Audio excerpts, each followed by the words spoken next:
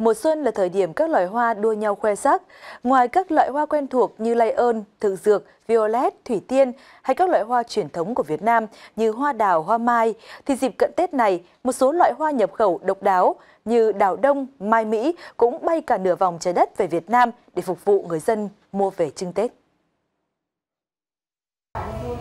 Đào đông có tên tiếng Anh là Winterberry, được biết đến với cái tên khác là chân châu đỏ, một loại cây thân gỗ, quả màu đỏ. Với đặc điểm thân cao, dáng cành đẹp và quả đỏ mọng nên đào đông thường được bày trí ở những không gian rộng rãi là nơi họp mặt gia đình hoặc tiếp khách, mang lại bầu không khí đón Tết rộn ràng và sang trọng hơn. Đào đông có giá dao động từ 200.000 đến 600.000 đồng một cành, tùy theo chiều cao. Để cắm được một bình hoa đẹp, cần từ 4 đến 7 cành. À, thực ra là năm nào cũng cũng Tết nhưng năm nay thì thấy uh, ở Ti và nào ở có giới thiệu là có cái loại hoa mới tức là hoa đảo đông à, với lại mai vàng Mỹ. Mà thì, thì uh, bản thân tôi thì thấy thấy nó rất là đẹp mà rất là lạ.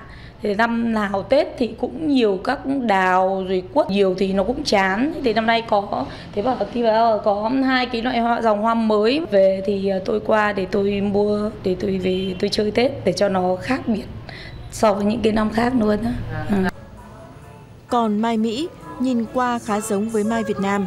Hoa có màu vàng rực rỡ, cánh mảnh. Song mai Việt, đầu cánh hoa thường là hình vòng cung tròn, còn mai Mỹ, đầu cánh hoa thon nhọn, nhìn khá lạ mắt và nở kín cả cành. Hiện mai Mỹ có giá từ 200.000 đồng đến 450.000 đồng một cành, cao trên dưới 1 mét. Khi mua về, các cành mai mới chỉ có nụ, sau khi cắm vào bình có nước khoảng một tuần, nụ sẽ bắt đầu bùng nở thành hoa và có thể để chơi được khoảng 3 tuần.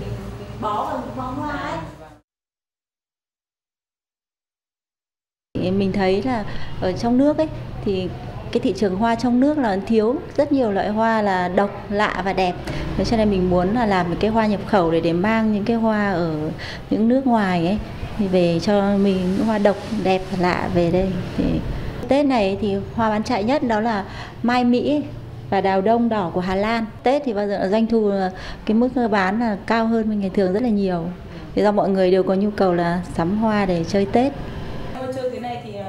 Cũng theo chị Trang, thì để hoa được bền, khi mua về cắm, khoảng 2 ngày, khách hàng nên thay nước trong bình một lần. Làm như vậy, hoa sẽ tươi và bung nở đẹp khoảng 3 đến 4 tuần liền.